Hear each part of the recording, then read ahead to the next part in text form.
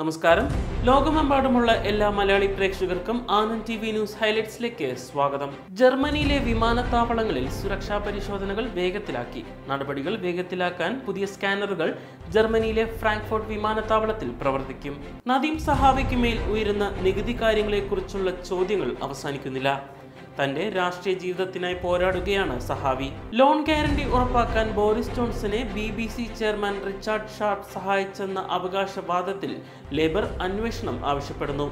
എന്നാൽ ഷാർപ്പിൽ നിന്നും ഒരു തരത്തിലുമുള്ള സാമ്പത്തിക സഹായവും ലഭിച്ചിട്ടില്ലെന്ന് ജോൺസന്റെ വക്താവ് പറയുന്നു. വരുന്ന മെയ് മാസം ചാൾസ് മൂന്നാമൻ രാജാവിന്റെ കിരീടധാരണ ചടങ്ങിനോടനുബന്ധിച്ച് സംഗീത കച്ചേരികൾ പൊതു ആഘോഷങ്ങൾ എന്നിവ സംഘടിപ്പിക്കും.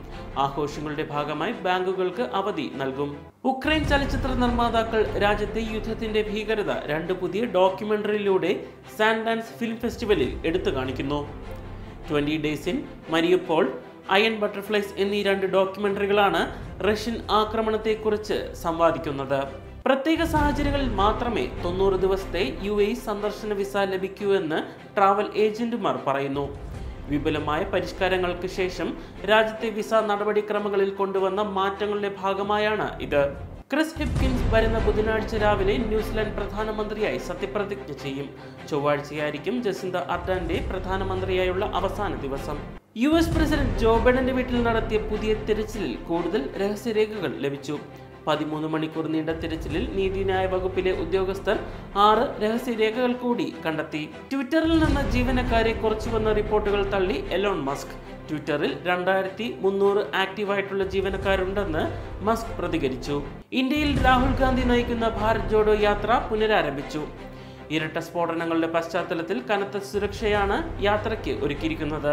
ഇന്ത്യയിൽ മുതിർന്ന പൗരന്മാരുടെ ട്രെയിൻ യാത്രാ സൗജന്യ നിരക്ക് പൂർണമായി പുനഃസ്ഥാപിക്കേണ്ടതില്ലെന്ന് റെയിൽവേ മന്ത്രാലയം.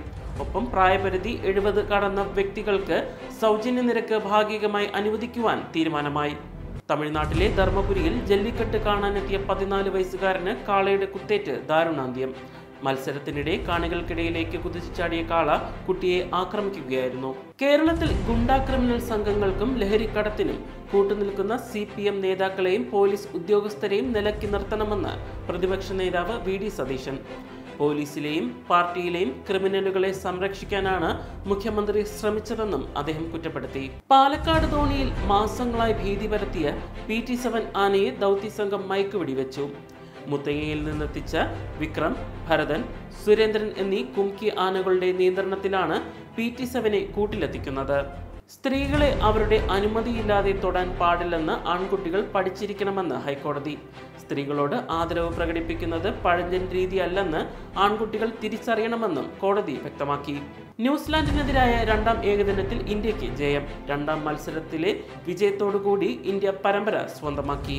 Anand T V news highlights ഇവിടെ പൂർണമാകുന്നു. എല്ലാവർക്കും നല്ലൊരു ദിവസം ആശംസിക്കുന്നു. സമകാലിക വാർത്താ വിഷയങ്ങളെക്കുറിച്ച് കൂടുതൽ അറിയുവാൻ Anand T V U K channel subscribe ചെയ്യുക. കൂടാതെ ആനന്ദ് ടി വി ചാനലിന്റെ മൊബൈൽ ആപ്ലിക്കേഷൻ പ്ലേ സ്റ്റോറിൽ നിന്ന് ഡൗൺലോഡ് ചെയ്ത് സൗജന്യമായി ആസ്വദിക്കൂ.